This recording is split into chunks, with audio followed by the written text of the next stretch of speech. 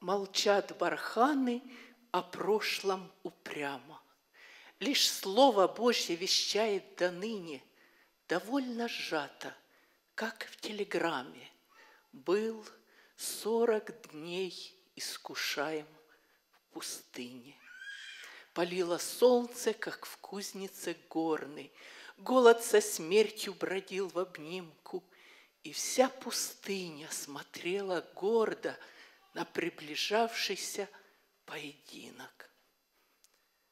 Дьявол опытен, дьявол практик, Он взялся за дело без легионов, Ведь нужно немало усилий потратить Ради погибели миллионов. Вдруг тишь пустыни речью лукавой Было разорвано словно залпом. Ты пищи хочешь, так сделай камни кусками хлеба, Ведь ты же взалкал.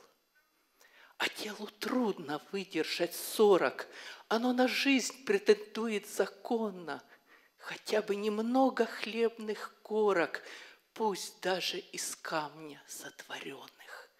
Голод врезался в тело, как бритва, Сознанию крича для сытых небо, А сердцу стучи единым ритмом Хлеба, хлеба, хлеба. Но кротко уста покорились духу, В решающий миг не ища середины, Пусть даже дрожали, пусть даже пухли, Но все же сказали не хлебом единым. Дьявол злится, но внешне сдержан. Ответ Христа не сконфузил профиль. Еще осталась одна надежда богатством путь перекрыть Голгофе. Я власть Христу предложу недаром, ее отняв у царей непреклонных. Он сделает мне бесподобный подарок, лишившись силы в одном поклоне. Мгновенья времени и царство мира пред ним промчались со скоростью света.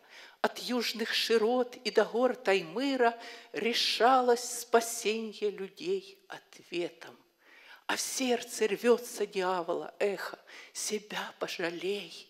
Избрав бездорожье, ты будешь отвергнут безумным смехом, а позже распят – а ты сын Божий. Но нет, зажженный любовью к миру, он отвергает греха услугу и, выйдя в поиск, проходит мили, чтоб людям грешным явиться другом.